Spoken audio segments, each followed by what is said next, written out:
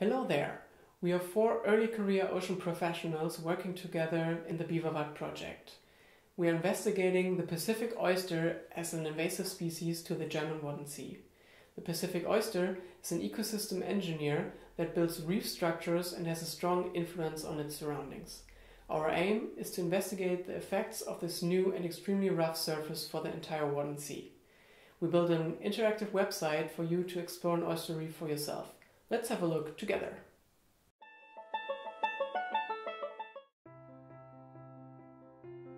Hi, I'm Tom. I'm a research associate in coastal engineering and ready to take off. As the drone pilot in our research team, I'm responsible for the aerial photogrammetry of the oyster reefs and the generation of digital elevation models. Together with Kai, I investigate the annual growth and the morphological change of the oyster reefs based on photogrammetry and data from terrestrial laser scanning conducted in the field. Besides the field work and evaluation of the propagation of oyster reefs, Jan and I will conduct hydraulic experiments on the roughness effects of oyster reefs on currents and waves by using acoustic and optical measuring instruments such as particle image velocimetry in a closed circuit flow. Leon can tell you more about the models used in our hydraulic labs.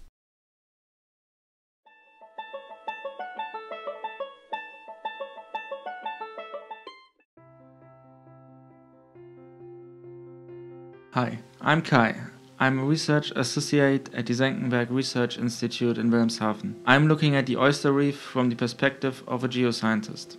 One part of my job is to determine changes in population dynamics of the Pacific oyster and the blue mussel in the oyster reefs. Therefore, we take biological samples in a seasonal interval and capture different ecological parameters. Some of these data are further used by Leon and Jan for their model development. We combine our data with Tom's 2D drone images to determine the spatial distribution of different reef structures and calculate biomass and abundance for the whole reef. This enables us to identify seasonal growth patterns. In addition to biological surveys, we use terrestrial laser scanning to investigate the oyster reef as a dynamic growing biosedimentary structure. With the high accuracy of the laser scanner, we can document small scale, three dimensional, medium term changes in different structures in the oyster reef.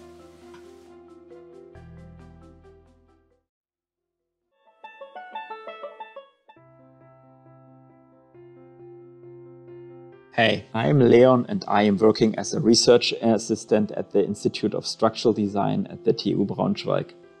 As a trained architect, I am responsible for the fabrication of digitally generated lab models.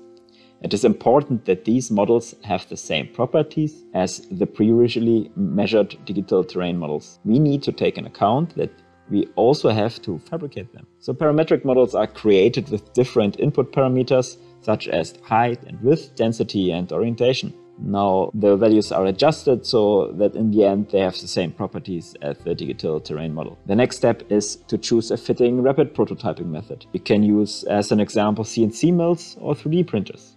In the end, we have a physical model which can be used by Tom and Jan for lab experiments.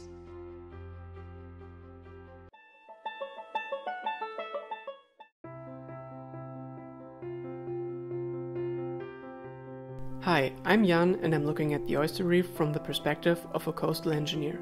As it is quite challenging to measure waves and currents in the open ocean, they can be replicated in specialized laboratories like this one. One part of my job are hydrodynamic experiments. In the video, you can see a wave flume experiment.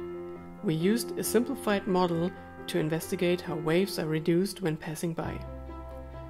We use several measurement instruments to capture important parameters as wave heights, flow velocities, and turbulence development. In the follow-up experiments, Tom and I will exchange the simplified model by the detailed oyster reef model that Leon explained. In this way, we can identify the impact of oyster reefs on the surrounding hydrodynamics in a controlled environment.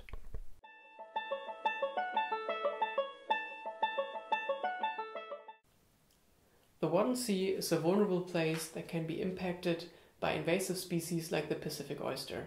With our work, we wanted to give you some insights into this little known but impactful process happening right in front of our eyes. And also, we wanted to show you some of the diverse and fun tasks of marine research. But come and see for yourself on our website.